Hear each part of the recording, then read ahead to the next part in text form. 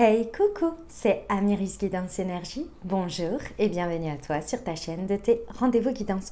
On se retrouve aujourd'hui pour vous, mes très chers amis scorpions, signes solaires, ascendants et lunaires, pour votre tirage de ce qui arrive à vous sur cette nouvelle semaine du 21 au 27 février 2022. J'espère que vous allez toutes et tous très bien. Moi, je suis très heureuse de vous retrouver aujourd'hui.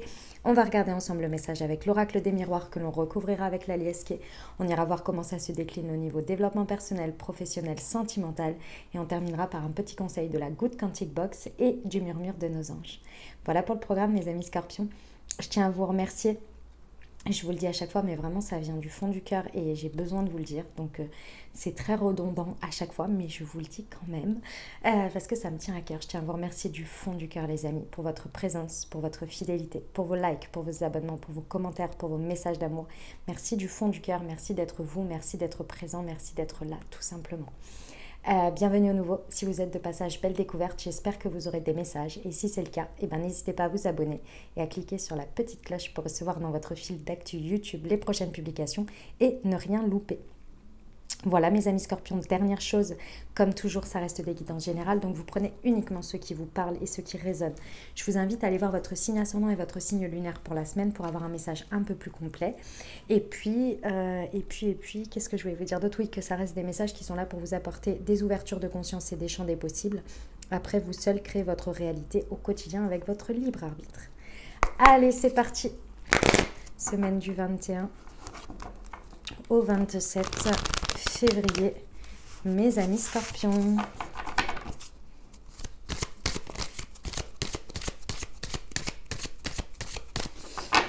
Ceux qui attendent nos amis scorpions. Alors, instabilité.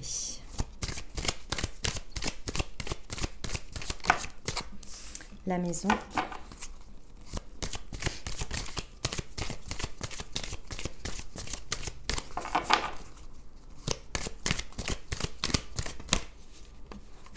Verdict.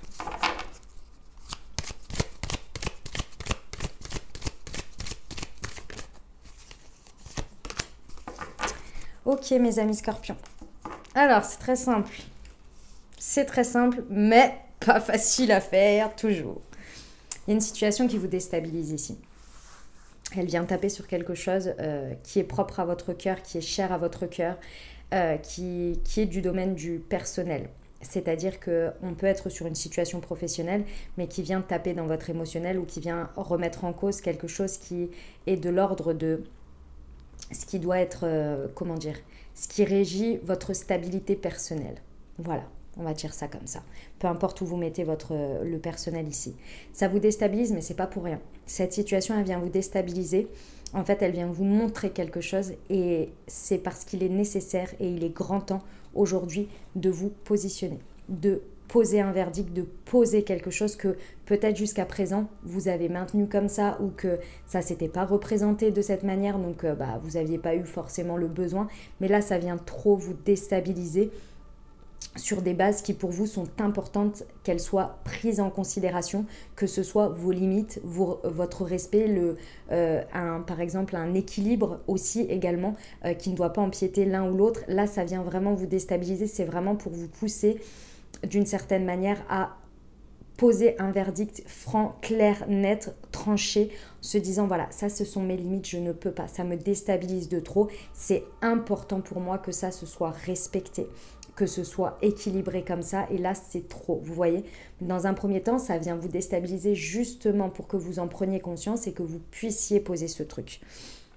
Pourquoi? Parce que ici, on vous dit de sortir de votre rêverie. Alors, il y en a pour qui, pour certains, on me dit, euh, en gros, euh, il faut arrêter de, penser que euh, les autres savent pour vous, que si vous ne dites pas, les, personnes vont combler vos besoins sans le dire, ou alors vont, vont savoir que vos limites, c'est ci ou c'est ça. Il y a un moment donné, il faut arrêter de rêver avec ça. si vous ne dites pas, si vous n'exprimez pas ou si vous ne vous positionnez pas, ben ça c'est vous laisser une porte vacante.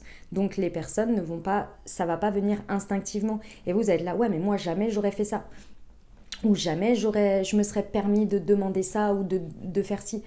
Oui, mais si la personne elle sait pas et que vous avez laissé ce terrain vacant, ben la personne elle fait comme avec son point de vue, son cadre de référence et ce qu'elle en sait de la situation. Vous voyez? Imaginons Je vais vous donner un exemple comme on peut voir dans les films. Une personne qui n'a pas exprimé le fait qu'elle a un enfant au, travail. Bah, forcément, le, le, patron, peut-être la personne s'est dit Ouais, je m'investis à fond, nanani, nanana, non, j'ai pas d'enfant, j'ai pas de contraintes. La personne lui dit Ce soir, on a une réunion à 20h, on a une réunion à 20h. On se pose pas de questions. Vous voyez? Ça peut être, c'est pour vous donner un exemple, mais là c'est parce que vous n'avez pas dit dès le départ, donc là c'est encore un exemple qui va pas forcément, mais ou alors ça peut être même ça, mais que la personne sait que vous avez un enfant et que vous vous êtes là, bah non en fait, moi j'ai personne pour le garder ce soir, donc en fait non, je ne peux pas. Ça vous déstabilise parce que vous devez poser un, vous devez poser un verdict en disant oui ou non. Et là, en fait, vous vous, sentez mal de ne pas pouvoir, évidemment, euh, assurer parce que vous êtes là, bah non. Mais du coup, euh, ça va pas, en fait. Ça vous déstabilise dans votre équilibre à vous, vous voyez donc là, après, bah, bien évidemment, vous pouvez trouver une alternative. Bah, je peux assister en visio, euh, machin, mais là, je peux pas, en fait. Il y a un moment donné, ça, faut que ce soit respecté. Mais ça vous déstabilise. Vous voyez, c'est de cet ordre-là. Et c'est parce qu'il y a un verdict à poser, parce qu'il faut... Il y a une idée de... de, de, voilà, il faut sortir d'attente, d'une certaine manière, que euh, les situations ou les personnes, c'est pas qu'elles ne vous respectent pas à ce moment-là. C'est que elles sont de leur point de vue avec leurs priorités. Mais c'est à vous de dire où le terrain, pour vous, est une priorité, est un respect. Ça, c'est le premier truc. Le deuxième, pour certains, c'est que ici, euh, c'est pas qu'un. Il y a une idée ici que ce qui vient vous déstabiliser et qui reste au milieu, euh, au stade de rêve, d'envie, de, désir, de projection dans la matière, si vous ne vous positionnez pas, ça va passer son temps à vous déstabiliser, mais ça ne va pas se matérialiser. Donc il y a un moment donné, ici, il faut se positionner pour matérialiser quelque chose. Il faut poser un verdict. Ici, on peut avoir euh, une énième situation qui vous déstabilise par rapport à un choix que vous devez faire entre un truc qui répond à vos envies et un autre, et une autre situation. Euh, ici, il faut poser un, verdict là. faut dire euh, ça, stop, ça, oui, ça, non, parce que ça ne va pas dans, dans l'accomplissement de, mes, mes rêves. Et en fait, si je commence pas maintenant, ça va passer son temps à être comme ça et je vais marcher sur des œufs et en fait, je ne vais pas voir mes désirs se réaliser ça vous tient à cœur, ça fait partie de votre quotidien. Le foyer, c'est, ça peut concerner votre maison, votre foyer, mais ça concerne aussi votre fort intérieur et également votre vie quotidienne, ce qui régit pour vous vos désirs, vos rêves, vos envies, vous voyez Donc il faut se positionner, il faut, aller quelque part, de toute façon. Il y a cette idée-là. Et ça vous amène à un engagement. Alors un engagement peut-être à, une signature pour certains, mais le contrat, c'est aussi l'engagement d'abord avec soi et de manière tacite avec l'autre, vous voyez? Ok, on va aller voir euh, avec qui C'est parti mes amis scorpions. Sur l'instabilité et la maison, s'il vous plaît. Pour nos amis scorpions, semaine du 21. Ben, vous voyez, voilà. C'est ça. Oh la vache, j'ai la chance providentielle. C'est quelque chose qui vous, qui vous prend énormément d'énergie et qui vous crée une dépendance. Ici, on vous dit que ce n'est pas parce que vous allez vous positionner ou vous allez continuer à subir ou à accepter des choses que vous allez recevoir plus ou différemment. Il y a un moment donné, il faut se dire une chose. C'est que si les personnes, en fait, la les, les limites que vous mettez dans votre vie, ce que vous acceptez ou non et votre positionnement, définit à l'autre les règles du jeu pour se comporter et, être dans votre sphère. Donc si vous laissez des situations être euh, vous, vous ronger ou bien vous mettre dans la stabilité ou bien être vous pomper votre énergie ou vous prendre des choses, parce qu'ici c'est cette notion de dépendance, de, de pomper quelque chose, vous voyez, mais en fait vous allez continuer à dire je suis ok avec ça. Je suis ok ça me déstabilise, etc. C'est pas je donne ça et je vais recevoir ça. Il y a, un moment donné, il faut, être, logique en fait. Vous, comprenez ce que je veux dire? C'est pas comme si euh, vous, euh, vous, ne disiez pas, je reprends l'exemple de, votre, de votre supérieur ou de, de, votre job ou quoi. Si vous ne dites pas ce soir c'est pas ok pour moi parce que je n'ai pas la garde, j'ai pas de garde pour mon enfant, et que vous vous retrouvez dans une situation extrêmement déstabilisante ou peut-être vous vous retrouvez à voilà, vous n'êtes pas bien dans la situation et que vous ne le dites pas, la personne la prochaine fois, 20 heures, va refaire la même chose parce que vous lui avez dit que c'était OK.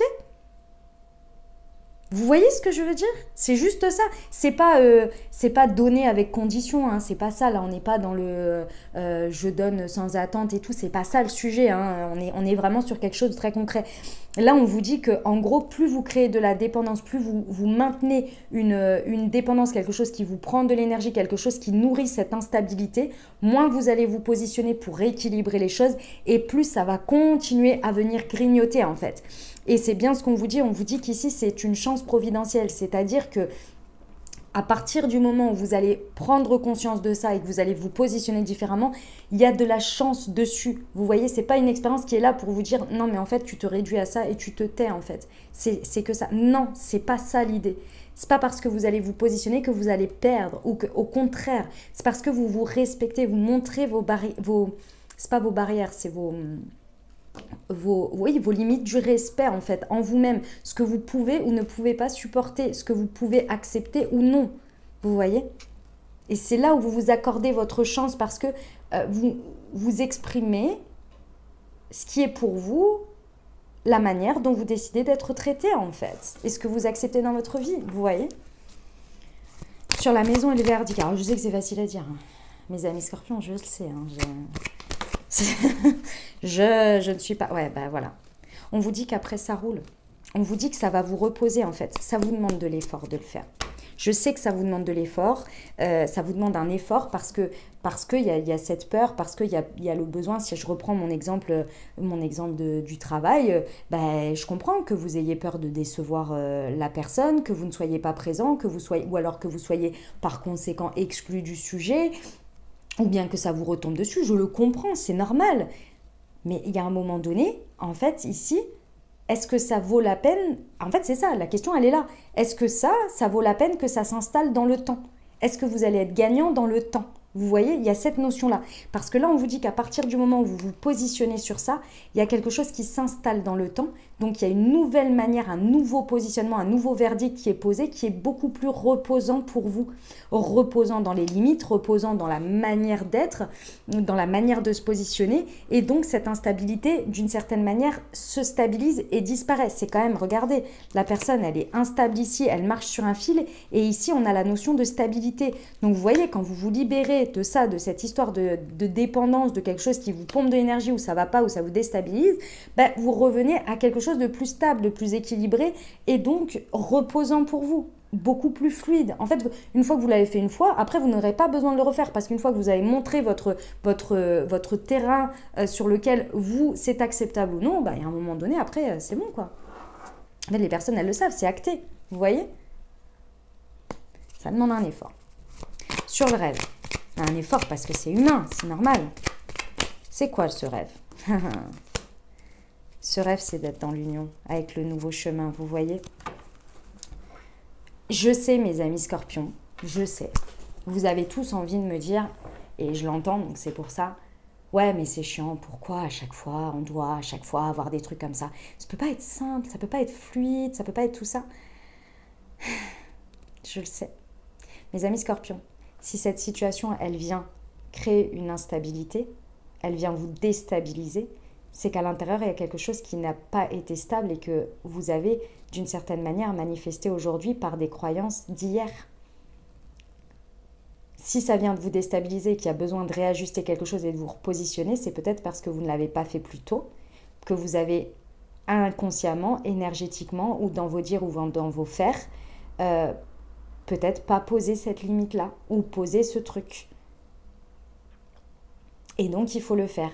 Et après, vous allez me dire, bah ouais, mais si c'est la première fois que ça arrive, bah c'est justement, est-ce que vous acceptez qu'elle s'installe ou est-ce que cette déstabilisation, elle vient vous montrer que euh, aujourd'hui, vous avez les capacités, la conscience et vous savez que si vous mettez le point d'orgue dès le départ, et bien après ça s'installe tranquillement dans le temps et c'est la limite est posée, le respect est là, la, dépendance n'est plus là. Moi je pense que c'est quelque chose qui peut-être, enfin c'est pas nouveau, mais si c'est le cas, dites-vous que ça fait partie du game. Imaginons que demain vous commenciez un régime. bah, vous êtes bien obligé d'appliquer des, nouvelles règles. Du, vous vous imposez à vous des nouvelles règles. On est bien d'accord. Vous savez que l'un sans l'autre, mais c'est la première fois que vous faites ce régime. Donc vous ne savez pas exactement les règles. Donc vous êtes en train de les apprendre et de, de vous les, de vous les, enfin régime. Vous voyez, c'était pour l'exemple parce que c'est vraiment souvent c'est régulé avec euh, voilà des, des, des, conditions, on va dire. Ah, mais c'est la première fois que vous vous attaquez à ce truc, donc forcément, vous euh, vous pouviez pas savoir avant. Donc ça peut pas être fluide tout de suite, vous voyez Cette idée-là. Là, votre désir, c'est que les choses, elles soient fluides, elles soient dans l'union, dans le fait de, vous voyez, ces deux cœurs, en fait, c'est deux situations, deux personnes, deux émotions.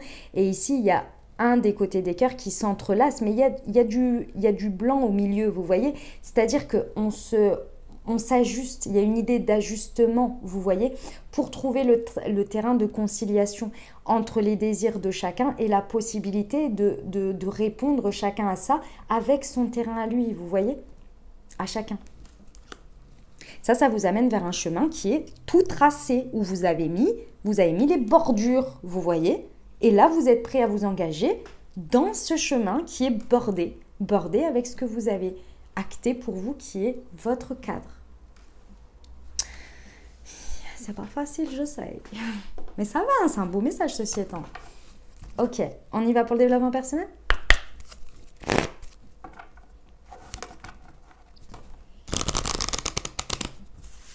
Du 21 au 27 février pour nos amis scorpions, s'il vous plaît.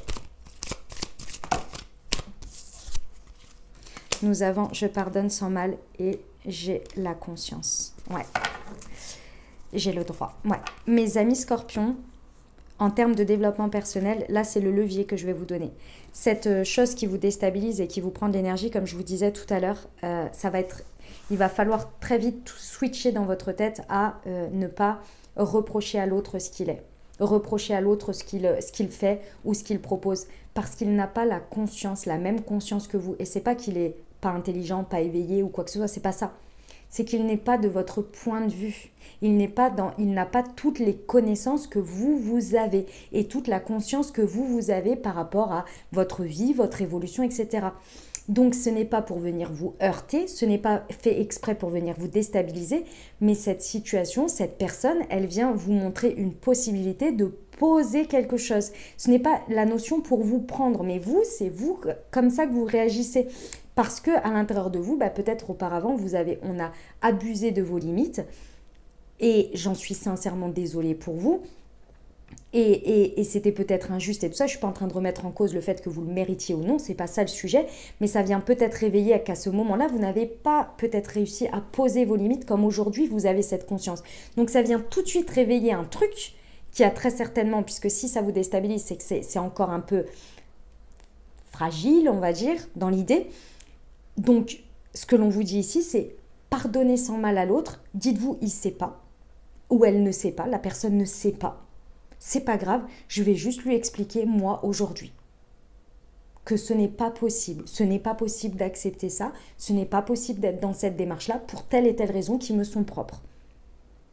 Ce n'est pas grave, ce n'est pas la même personne, ce n'est pas la même expérience et ce n'est pas la même volonté ne mettez pas dessus sur cette situation qui vous déstabilise les croyances ou les intentions d'une expérience passée ou d'une personne passée.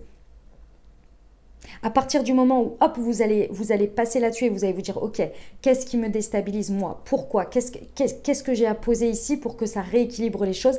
Alors là, vous posez bien la conscience sur ce qui est juste pour vous.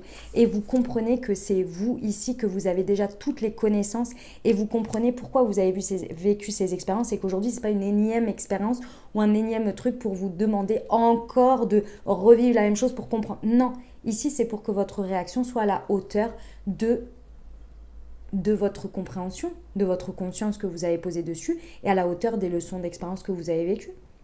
Vous voyez? Et on vous dit qu'à partir de ce moment-là où vous faites ça, vous vous accordez le, fameux j'ai le droit. J'ai le droit de rêver de ça. J'ai le droit d'avoir cette paix, ce repos, cette stabilité, parce que j'ai le droit de me positionner par rapport à ce qui est important pour moi. Waouh, c'est superbe. Super mes amis scorpions. On y va pour le pro?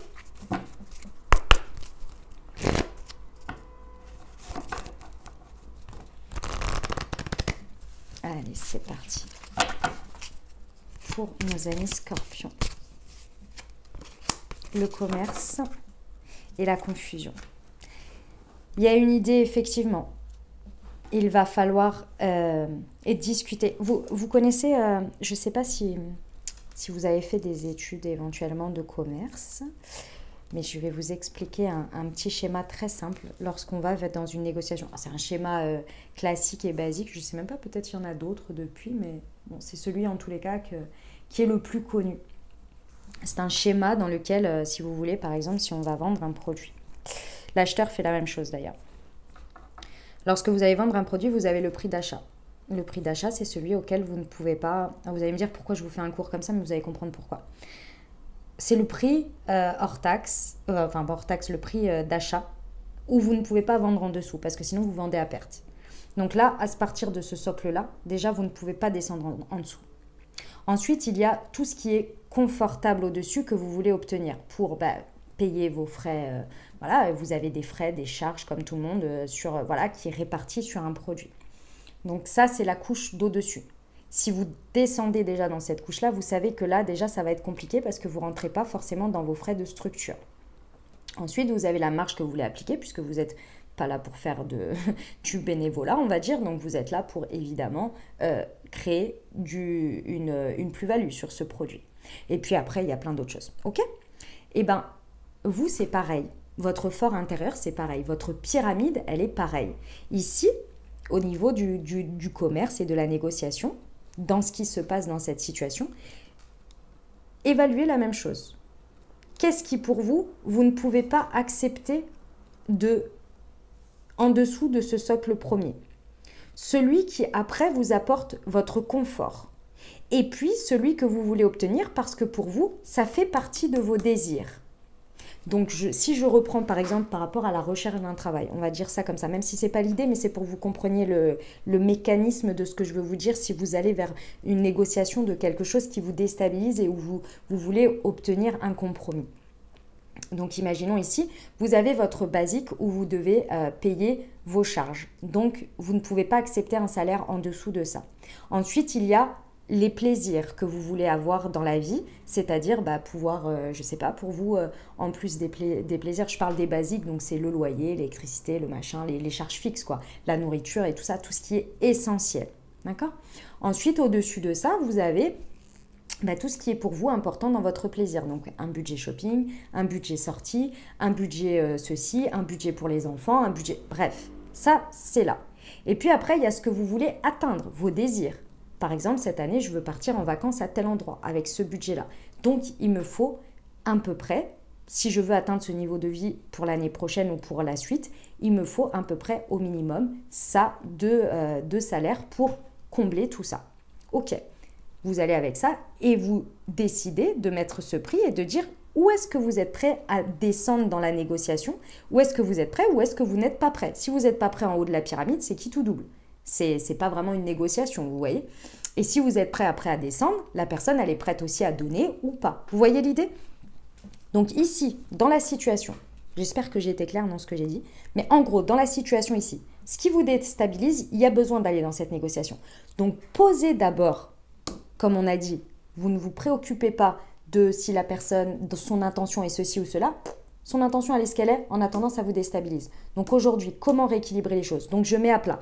Qu'est-ce qui aujourd'hui je peux accepter, ce que je ne peux pas accepter, qu'est-ce qui en dessous de ça va être compliqué pour moi à gérer, etc. etc. Pour que je montre qu'aujourd'hui, cette limite-là, on ne peut pas la descendre, on ne peut pas la dépasser, on ne peut pas me demander quelque chose de cette limite-là, parce que sinon, ça va vraiment entacher déjà mon désir de voir cette euh, relation ou cette harmonie dans le professionnel, ça ne va pas le faire, je ne vais pas y arriver, ça va, entacher mon rêve d'être dans cette connexion-là de travail, dans cet environnement. Et en plus de ça,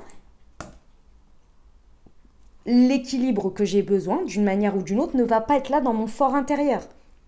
Donc, je, euh, dis et j'exprime ce cadre-là et et ces limites-là pour qu'ensuite, une fois que vous vous êtes positionné, bah, ça roule. Est-ce qu'on trouve un terrain d'entente ou pas? Alors ça vous crée de la confusion, peut-être parce que, alors moi ce que l'on me dit, vous verrez comment ça se passe, mais moi on me dit que ça vous crée de la confusion parce que vous n'avez même pas besoin de, d'une certaine manière, euh, il n'y a pas de conflit ou de choses comme ça. C'est comme si une fois que vous vous positionnez, les choses elles se passent direct en fait. Elles se passent et, vous n'avez pas besoin de, de plus imposer que ça. C'est limite, c'est entendu, c'est compris, c'est ah ouais ok désolé je, ne savais pas. Ah ok désolé je savais pas. Euh, euh, je savais pas que euh, euh, tu comment dire que tu n'avais pas une nounou à disposition ce soir qui n'était pas disponible ou quoi désolé j'avais oublié ça pas de problème c'est ok si je reprends mon exemple d'avant par exemple. Ouais ok c'est il y a pas de problème on fait comme ça y a pas de souci bonne soirée à demain je m'en débrouille je fais ce que et on en reparle demain et je te fais le débrief. Vous êtes là waouh. Ah ouais ça existe en fait, il suffisait juste que je me positionne comme ça. Donc pour certains, c'est ça. Pour d'autres, ça va vous mettre dans la confusion. Parce que finalement, euh, il y a cette idée que ça va peut-être créer un nouveau chemin, c'est-à-dire une nouvelle ouverture vers quelque chose d'autre, mais dans le sens où c'est vous qui allez comprendre en parlant et en vous exprimant que du coup, c'est peut-être pas là que vous allez avoir cette stabilité et ce repos et, ce nouveau ce, chemin qui se dessine. Et vous allez aller peut-être vers un nouvel engagement parce que vous estimez avoir le droit de ça et que si c'est pas normal que ce soit accepté ici, bah vous, comme vous avez défini que vous ne pouviez pas ronger ça et que vous ne pouviez pas retirer ces limites-là, bah peut-être que vous allez aller vers autre chose. Ça va vous poser la question de vous dire est-ce que je vais vers un autre chemin? Vous voyez? Pour certains, c'est ça. Ok. Voilà mes amis scorpions, on va aller voir le sentimental.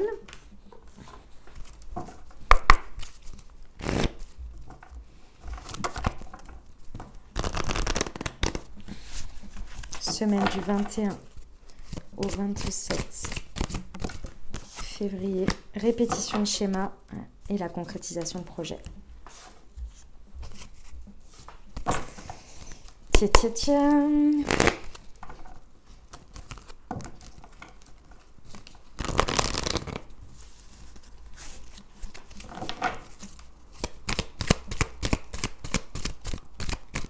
Pour nos amis scorpions, semaine du 21 au 27. Ok. Et ouais. Ok. Mes amis scorpions, redoublement de vigilance. Redoublement de vigilance par rapport à ça. Ici, au niveau sentimental, que vous soyez en couple, célibataire, avec une personne dans le cœur, bref, peu importe ici, ça vient taper sur un schéma répétitif, c'est-à-dire sur quelque chose qui, euh, comme je vous l'ai dit tout à l'heure, quelque chose qui est empreint du passé ici, d'une expérience passée vous avez vraiment la possibilité de vous en libérer. Ici, la dépendance, c'est le fait de, euh, de réagir de la même manière, toujours de la même manière, de penser que les personnes ou les situations en face de vous sont là toujours pour vous faire vivre la même chose. Euh, ça vient répondre à une conviction profonde, mais c'est quelque chose qui vous tire en arrière. C'est quelque chose qui vous fait mal, c'est quelque chose qui n'est pas agréable et à chaque fois vous répétez le même euh, positionnement. Dans vos actes, déjà pour commencer, dans la manière dont vous agissez, et on me le dit deux fois, et par rapport à un homme ou bien à quelqu'un avec un caractère euh, masculin dans le sens euh, yang, vous voyez, donc avec une dominance yang, donc très dans l'action, très dans le, dans le concret, etc. Ok? Donc ici, on vous dit bien que... Euh, vous voyez, en plus c'est marrant, on m'a attiré l'œil sur le printemps ici. Il y a vraiment quelque chose que vous pouvez euh, faire différemment. Vraiment, vraiment différemment. Ça ne vous demande pas d'effort, dans le sens où ce n'est pas quelque chose qui est là pour vous demander de, revivre un truc compliqué. C'est pas du tout ça. Je vais répéter, réitérer les amis. Lorsque vous vivez cette situation ici, regardez d'abord. Il y a ce je pardonne sans mal. Donc le pardon, c'est l'acceptation, l'acceptation d'une situation. Ici, si vous partez au quart de tour sur un petit truc ou un truc et que vous dites de toute façon cette personne elle fait ça parce que ça par rapport à votre cadre de référence de ce que vous avez vécu, expérimenté par le passé, vous condamnez la personne tout de suite, vous condamnez la situation tout de suite. Donc vous restez dans cette espèce de dépendance à un schéma, à une histoire qui, se, qui, à chaque fois vous déstabilise votre fort intérieur. Sauf que vous, c'est plus ça que vous voulez, vous voyez?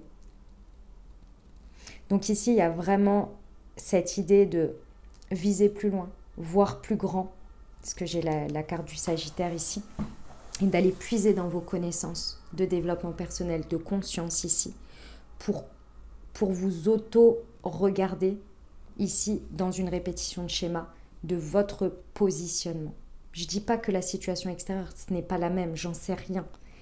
La seule chose que je sais ici, c'est qu'il y a quelque chose où vous vous repositionnez de la même manière. Il est possible que vous puissiez le faire et qu'aujourd'hui, vous avez la possibilité de faire différemment en posant un verdict différent, en vous imposant différemment, en vous positionnant, pardon, pas en vous imposant différemment. Parce qu'ici, si vous croyez, si votre croyance, elle est que ce que je viens de vous dire par rapport au passé, de revivre la même chose, que forcément c'est ceci, c'est cela, vous allez manifester ça.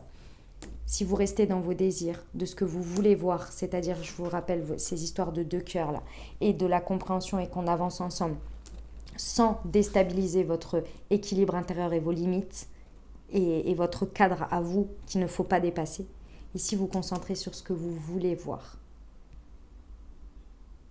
Rappelez-vous les amis, le présent est aujourd'hui la conséquence de vos pensées. Vous avez créé votre présent sur vos pensées et sur ce que vous avez fait hier, avant-hier, il y a trois mois, il y a six mois.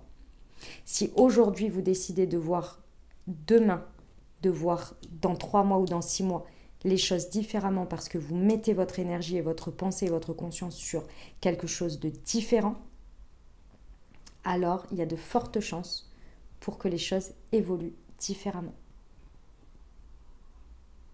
Vous voyez? Ici, ce que l'on vous dit, c'est que je pense que c'est peut-être une, manière de faire pour certains. Euh, donc vous verrez en fonction de si c'est vos comportements ou pas. Mais ici, on vous dit de ne pas rester dans l'isolement, dans la solitude, dans le silence, dans le fait de ne pas dialoguer. Parce que c'est grâce à ce dialogue-là, et je vous rappelle qu'il y avait l'effort hein, tout à l'heure, c'est grâce à ce, au fait de ne pas aller là-dedans que vous allez réussir à amener au fur et à mesure les pièces du puzzle pour aller concrétiser des projets réels dans la matière. Mais il va falloir dialoguer. Il va falloir vous exprimer, poser ce verdict sans condamner l'autre, mais positionnez-vous, vous, différemment. Ok mes amis scorpions? Voilà ce que j'avais pour vous. On va aller voir le petit message de la goutte quantique box pour nos amis scorpions.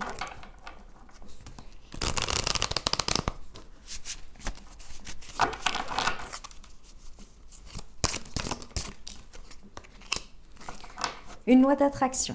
Depuis votre naissance, vous ne cessez de modifier votre réalité par vos choix. Votre chemin de vie est tracé d'une certaine façon, mais vos décisions et votre attitude le rendent plus difficile à arpenter ou au contraire plus cabossé.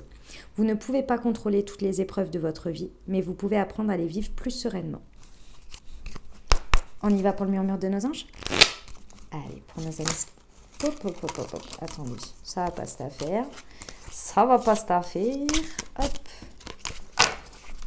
Allez, pour nos amis scorpions. Voilà, là ça va mieux. Le bonheur commence avec un sourire et au deck, regardez les deux facettes de cette situation. Tu n'es pas obligé d'être d'accord, mais au moins sois compréhensif. Ne condamnez pas trop vite. D'accord? Voilà mes amis scorpions ce que j'avais pour vous pour cette semaine. J'espère que ça vous apportera les messages, les ouvertures de conscience et les champs des possibles pour créer votre réalité sur cette nouvelle semaine mes amis scorpions. N'hésitez pas à aller voir votre signe ascendant et votre signe lunaire pour avoir un message un peu plus complet pour la semaine. Et puis si vous avez aimé, bah, n'hésitez pas à vous abonner, liker, commenter. Je vous souhaite une merveilleuse semaine les amis scorpions. Prenez grand soin de vous les amis. Je vous envoie tout mon soutien et tout mon amour. Je vous dis à très bientôt. Je vous embrasse et je vous aime.